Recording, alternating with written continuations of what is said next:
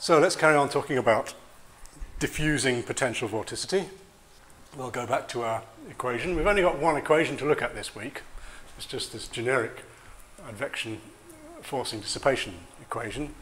And so let's say that we represent, uh, as an isotropic diffusion, we represent the effect of transients on the potential vorticity field.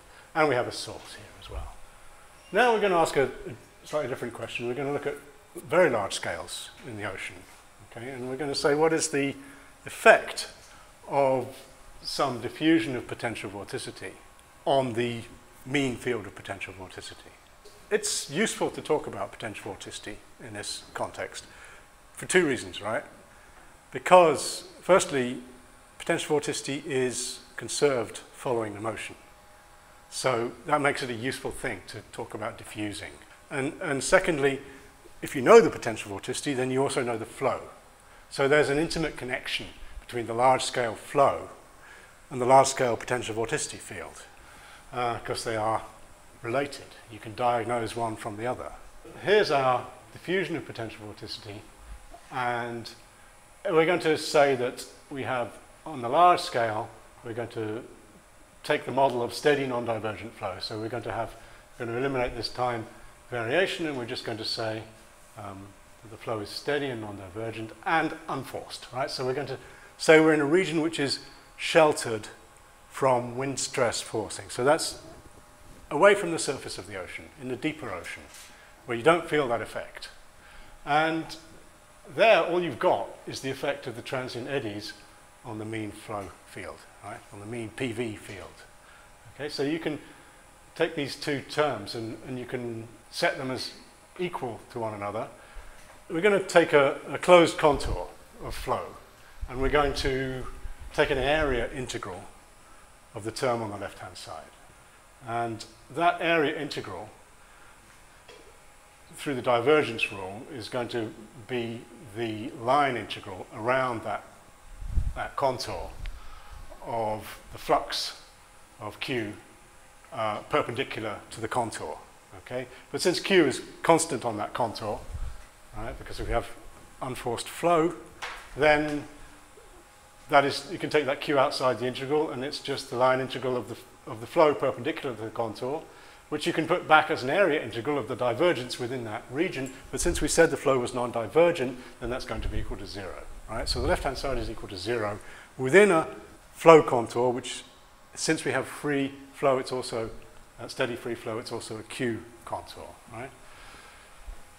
So if the left-hand side is zero, then the right-hand side here must also be zero. So this, within the area, this, this divergence of k grad q must be equal to, by the divergence rule, that is just um, the component of the q gradient which is perpendicular to the boundary, integrated around the boundary, and that must be zero. Okay? So we've come up with a result now which says that as you integrate around this, this flow contour, the gradient perpendicular to that contour must integrate to zero in steady, unforced flow. Now, what does that mean? If you look at this picture on the bottom here, that means if you have a flow contour, well, that, in this situation, obviously, that gradient perpendicular to that flow contour as you go around is not going to add up to zero. It's not going to integrate to zero, right? Which means that the eddies are going to transfer properties until such a point as that does become zero. And what that means is that this extremum here is going to get eroded and eliminated, and you'll end up with a state in which the potential vorticity is uniform. It only has one value throughout the region. Uh, and so, yeah, when I say extremum of potential vorticity, that makes you think of the Rayleigh criterion, which we talked about when we were talking about instability, and, and it's linked. You know, if you have an extremum in potential vorticity, then you might have instability. Instability will generate transient flow. Transient flow will act to eliminate the source of that instability, and this is what's happening here. And, and the ultimate result is that you're going to eliminate all gradients of potential vorticity, and you'll have a state in which potential vorticity only has one value, a plateau of uniform PV, all right? And uh, here's a couple of examples. So here's an ocean model So it's not the top layer of the ocean, it's somewhere isolated from forcing, right? And you can see that the, there's a big region where the gyre is active of uniform potential vorticity. No gradients. All the gradients are pushed out to the edge where you have no flow. And here, this is represented here as a plot. Uh, as you go around the region, you can plot the values of Q on the vertical axis and the values of psi on the horizontal axis, and it comes down to this kind of ultimate state where either there are variations in Q, but in that case, psi is zero, so there's no flow. So that's just basically the beta effect outside the flow region. Or psi is varying, which means there's flow, in which case Q is uniform. So that's within the gyre. And here's on the right, there's an example from the observations of ocean gyres. And again, the lower figure shows a deeper layer, and you can see those uniform values of potential vorticity. In the upper figure, we're, we're nearer the surface. It's, it's not isolated from forcing. And um, you can see that the Q value is not uniform, but it is enclosed contours around the gyre. So that's very different from the types of large-scale ocean, ocean circulation theories that you've seen up to now. And that's what I'm going to get onto now. We're going to talk about large-scale ocean circulation, and we're going to contrast kind of two paradigms of large-scale ocean circulation. One, which is the one you know, okay, which is the Stommel solution, which is basically the Sverdrup term, which is the advection of planetary vorticity, is balanced by forcing and friction. Okay? That's the Stommel gyre. So what happens is that your contours of your potential vorticity are parallel to latitude lines. And you are, your flow is forced across those contours, forced to change its potential vorticity. As it goes south, it is forced by the wind stress. And as it goes back north, and it has to be in an intense jet so that this friction term can be big enough, um, uh, that friction term will then remove the vorticity that was injected by the wind stress and you can go back in the other direction. So that is how a Stommel gyre works. It's forced and dissipated and your vorticity, your absolute vorticity is changing. Right? And here's the other extreme. Imagine a, an ocean gyre in which your potential vorticity is conserved. So you never change it, uh, which means that as you go around a flow contour, uh, your PV contour is going to be parallel to that flow contour. You're not going to change your PV. You are in an unforced system, right?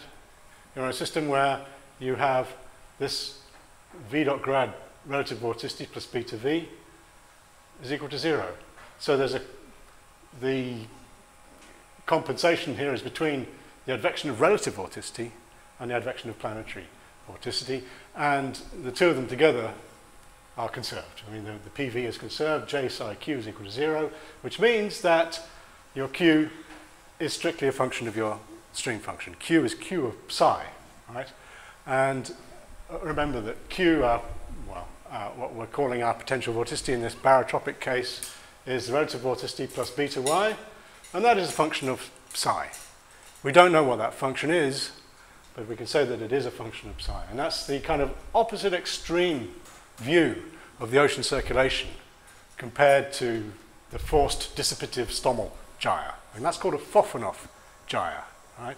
And um, we imagine that it gets into this state, the ocean circulation gets into this state due to the action of transient eddies, modifying the potential vorticity field. Just a last word on that. We don't know that relationship between Q and psi, but the simplest thing to do is just to say that it's a linear relationship. So you can say that the gradient of Q is proportional to the gradient of psi.